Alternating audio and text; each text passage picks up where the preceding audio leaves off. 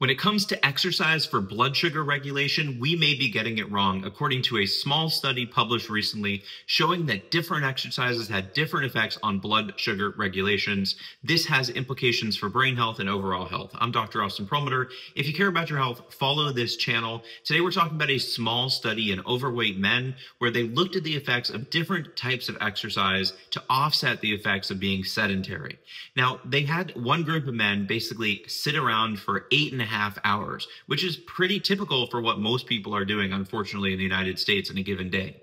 Another group of men were allowed to do a 30 minute walk at one time during this eight and a half hour window.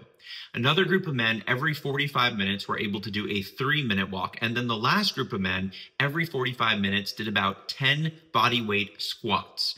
And what they looked at here were the effects of these different types of exercises on these markers of blood sugar, specifically the area under the curve for blood sugar. What they found were really two important things. The first is that doing these exercise snacks, so either these squats or these short walks, was better for regulating blood sugar than doing the one 30 minute walk in this eight and a half hour period. And the other thing they found is that the blood sugar regulation correlated with activation of the gluteus maximus as well as the quadriceps muscles, suggesting that activating those muscle groups may be key to the blood sugar regulation.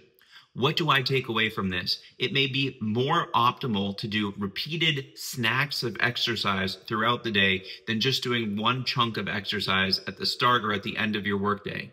Now, that may not always be incredibly feasible for everybody, but what I love about this study is they looked at different forms of exercise snacks. So whether it's doing a couple of squats each day or getting a short walk in every little bit, the bottom line is that your body seems to benefit specifically from a metabolic perspective from getting these exercise snacks in. And that may have implications for brain health because we know that metabolism and brain health are tightly linked. For more information like this, make sure you're following my channel. I'm Dr. Austin Perlmutter, and I'll talk to you again.